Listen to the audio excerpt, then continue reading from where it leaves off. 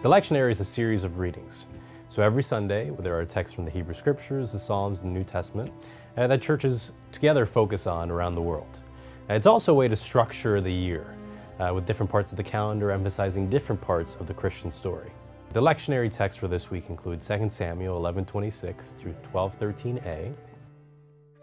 As the lectionary talked about last week, David took Bathsheba and arranged for the basic murder of her husband Uriah. This week, Nathan confronts David with the sin, but doesn't bring it out directly. Instead, Nathan tells David a parable.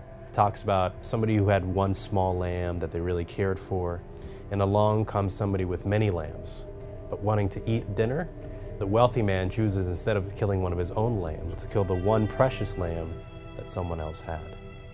David, of course, is outraged by this and says that the, this wealthy man should be, should be punished for what he's done. And then Nathan says, You are the man, confronting David with the depth of his sins. The story goes on to say that the child that was conceived by David and Bathsheba would, would die, that God would strike down this child.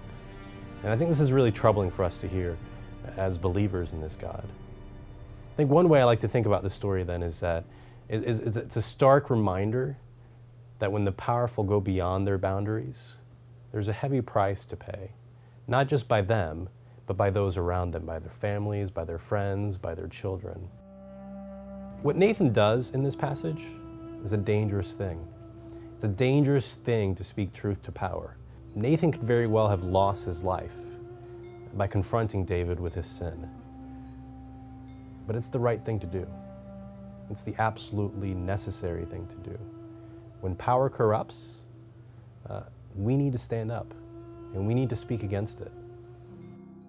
There have been people throughout history who have done this Martin Luther King, Gandhi. But there are lots of small ways that this is happening in everyday life. When bosses overstep their boundaries and an employee steps forward and calls them on it, that's an act of courage and one that many more of us need to take.